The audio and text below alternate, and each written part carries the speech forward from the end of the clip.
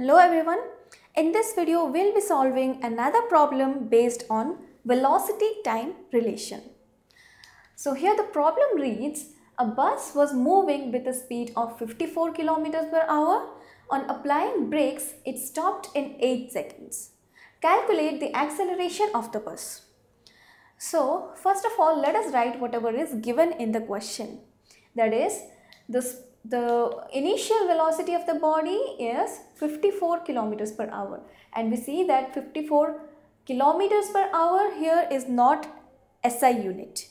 The SI unit of velocity we know that it is meters per second and before going to the solution of the problem we need to uh, convert this into meters per second.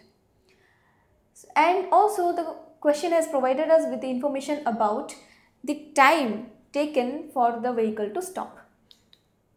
So here the vehicle has come to a stop at the end. So its final velocity is taken to be v equals 0 since the bus has stopped finally. Now the time taken by the bus to stop is given by 8 seconds. Now uh, with this information we need to check out what is the acceleration of the body. Now first of all let us convert this kilometers per hours into meters per second. We know that, that 1 kilometers per hour equals 5 by 18 meters per second. So 54 kilometers per hour will be equal to 5 by 18 multiplied by 54 meters per second. So this gives us u equals 15 meters per second. So now we have got the initial velocity of the body in terms of SI units.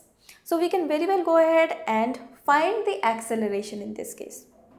So from the first equation of motion, we know that V equals U plus AT. So except this value of acceleration, we have all the other three quantities that is the final velocity, initial velocity and the time taken. So we'll figure out what is acceleration here that is a equals v minus u divided by t.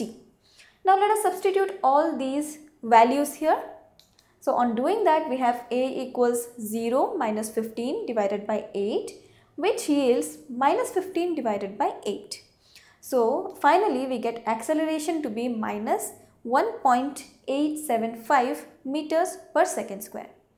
Now you, you might be noticing a, a minus sign here in front of acceleration. We have already read what is the meaning of this negative sign over here.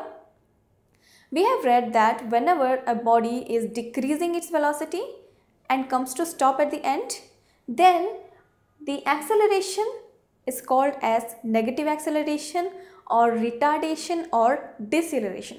So in this case here, the body was traveling with 54 kilometers per hour and gradually it has come to stop by reducing its velocity at every point of time.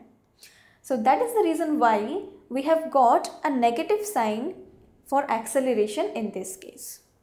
So I hope you have understood the solution of this problem. Thanks for watching.